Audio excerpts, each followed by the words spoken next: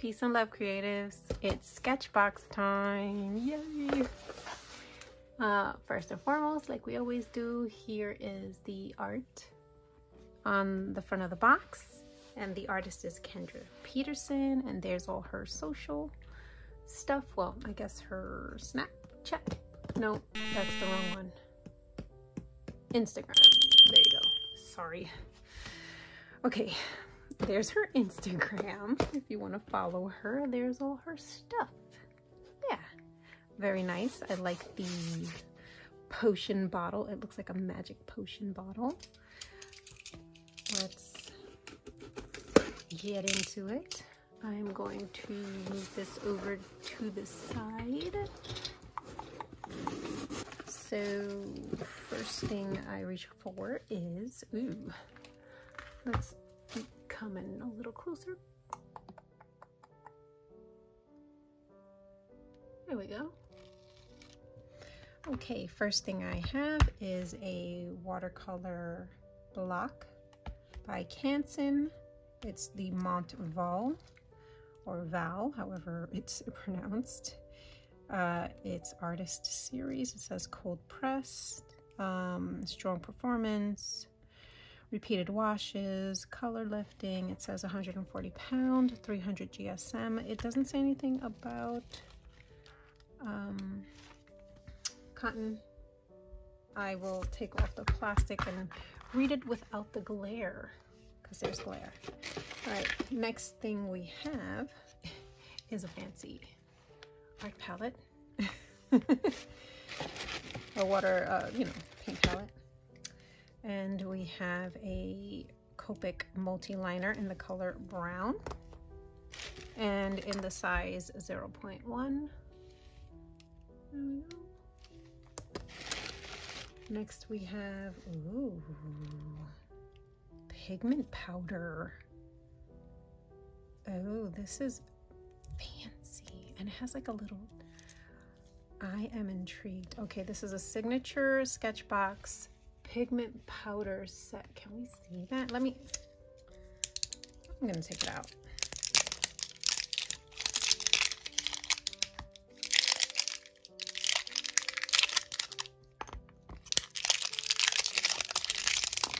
Okay.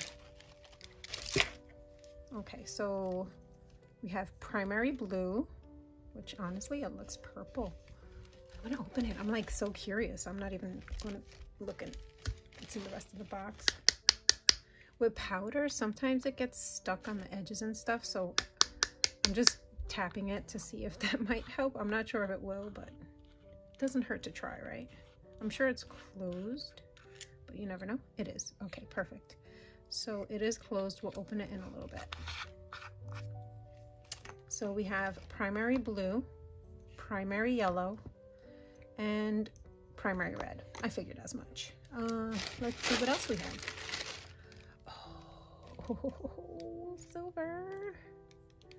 Oh my gosh. And this is by the company Pearlex. I'm thinking it might be all by Pearlex, but we'll see. Ooh.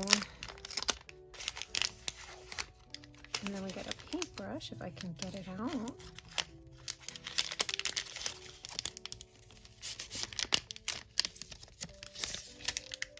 And it is a Sketchbox original angle chisel 3 eighths of an inch and, and there we go Ooh. okay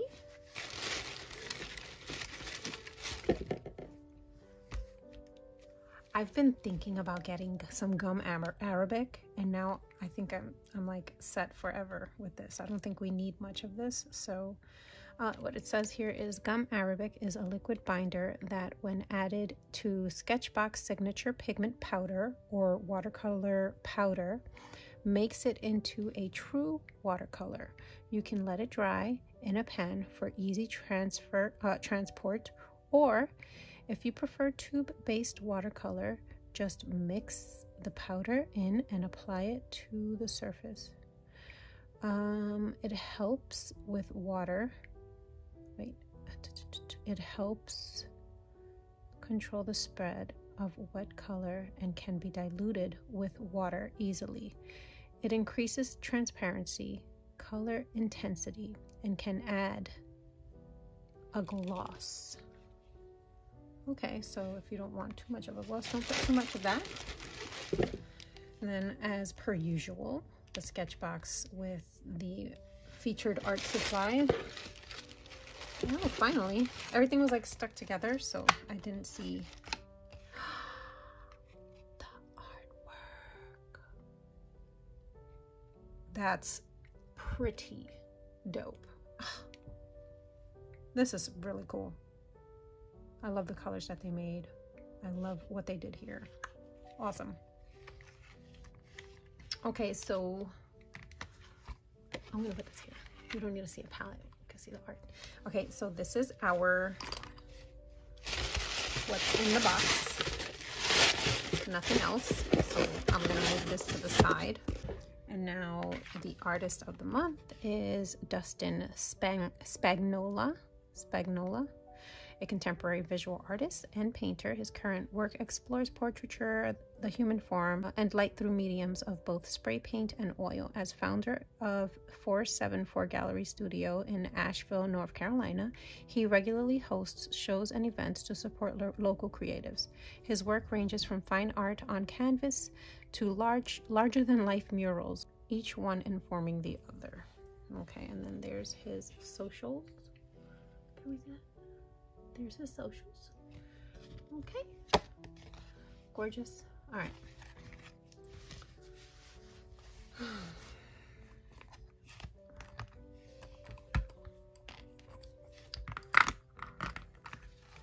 So let's read a little bit before we jump into things. Yeah. The Pearl X antique silver.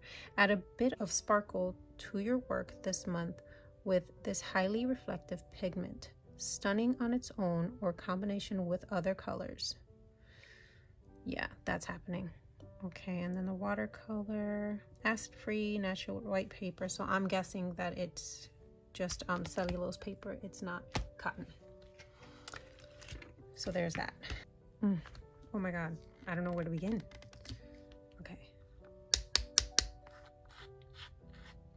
I know where to begin.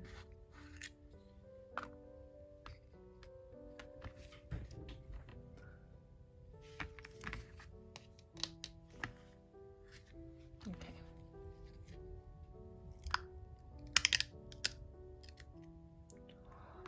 Look at the intensity of that color on the top of this. I wonder if, oh, it comes waste not, right?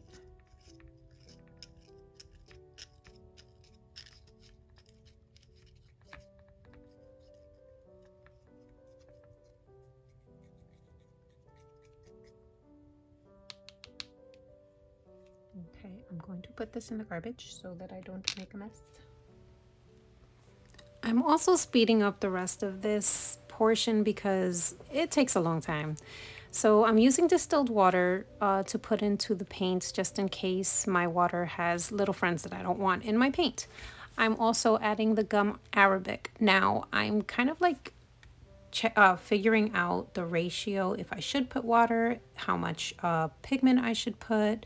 I'm figuring that all out by myself because if there is a video, I didn't look at it and I'm sure there is, but I, I just wanted to jump in and try it because I like diving in before I, you know, try to read anything or learn anything. I, I yeah, that's how my brain works. Anyway, um, so I ended up doing a water gum arabic uh, pigment ratio there. This one I did a little bit less water, um, a little bit more gum arabic, and then I put in the pigment and I mixed that around. Now mixing them took a, a bit so I just wanted to let you guys know about that too. It takes a while because you want the pigment uh, powder to disintegrate. You want it all to be, you know, gone. Now in the yellow one, I just put gum arabic and I just wanted to see how they dry. Um, and in the empty pans. I'm just adding different colors to make different colors. So that's what I did there. Unfortunately, where I put the yellow and the blue, there was still a little bit of red from the powder just because it mixes and it goes everywhere, it just gets everywhere. So just be aware of that, aware of that, and um, just be careful. You're gonna have a mess. As far as the um, watercolor block uh, from Canson, it is cellulose, not 100% cotton, just to let you know. All right, so here is the water block. The texture there's a little bit of texture on the paper. Um, yeah, so I think it's gonna be nice. All right, so now I'm just going to take the um, sizing off that they use to keep the paintbrush uh, nice and uh, safe during travel. So I'll just swish it around in the water to do that. And I should be able to remove the sizing off perfectly fine with no issues. So now the brush is, it's a pretty stiff brush. So that's, I think it's a good thing, we'll see. So what I'm gonna do is because um, the colors are intense right now, I'm just gonna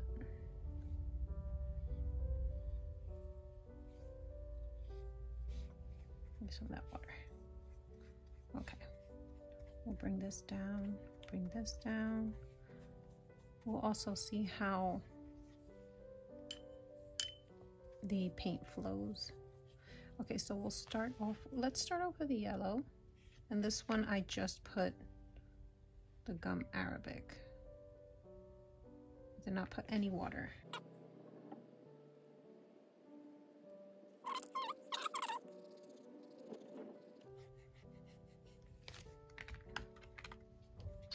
And that's pretty good. There's no grain, but I wonder how that's going to dry because of the amount of um,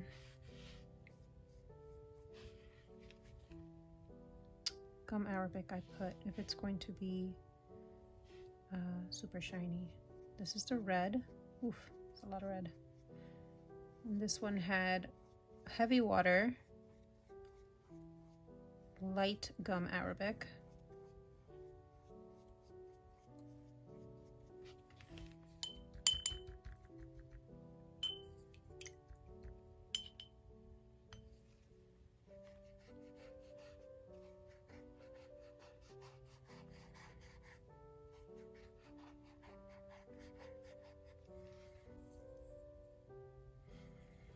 then we're going to go in with the blue. And I don't remember where I put the water, so I'm just gonna put more water. And then this blue has a little bit of water and a little bit of gum arabic and a lot of pigment.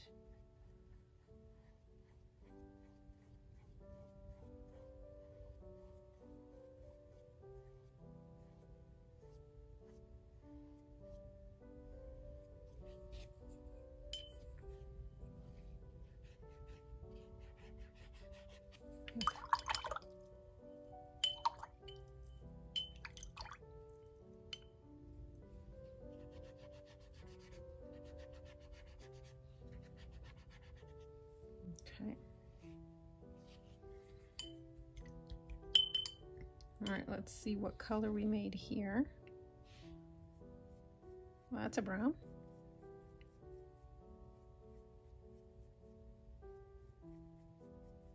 Ish. Brownish. Let's see what color we made here. That's still red as anything. That red is super strong. Okay. And let's see what color we made here. Mm, that's more of a vermilion. So it's definitely a different color than that. So that's nice. Let's try to get a little bit more blue in this one. See if we can get a better purple. Let's see. There, there's still so much pigment that's not mixed in.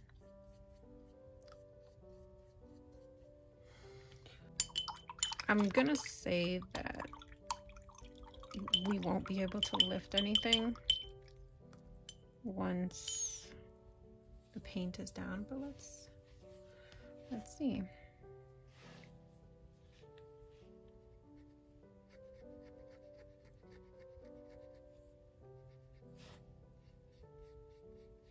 Definitely the paper does not like this. The paper does not like lifting. Okay, so there's that. I want to get some of this uh, silver in there as well.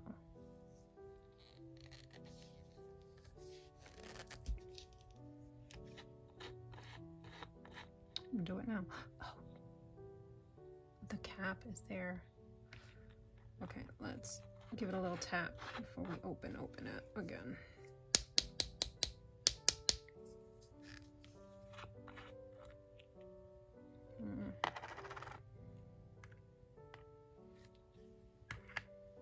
I'm gonna take it from the cap. The cap.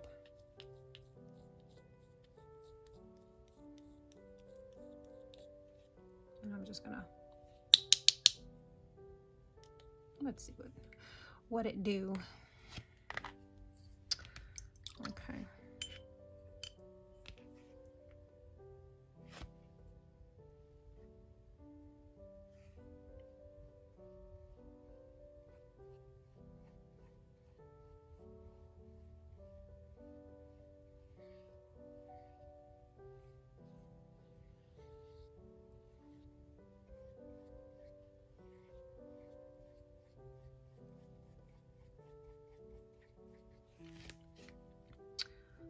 Okay. It's very shiny. I don't know if you're going to be able to see that on screen, how shiny it is. But it's definitely like pearlescent, as they said. But I'm thinking this is something you definitely add to the paint. Like it's that kind of shine. okay initial thoughts with this it's messy. Number one very messy. Um and i haven't even started like really painting or anything so. Um but also there's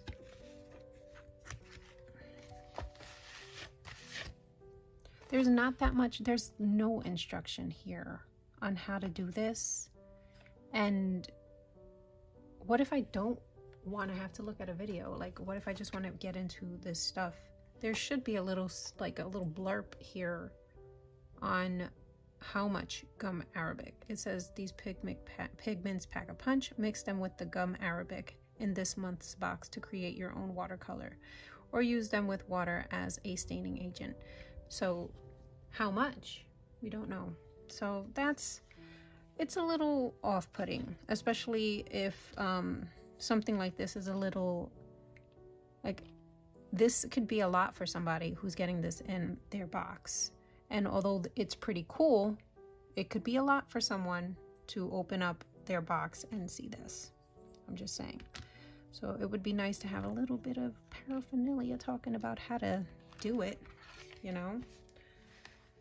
Okay, and then this is a color block. So in order to get this off of the block, we're going to have to look for the open part where does there's no glue.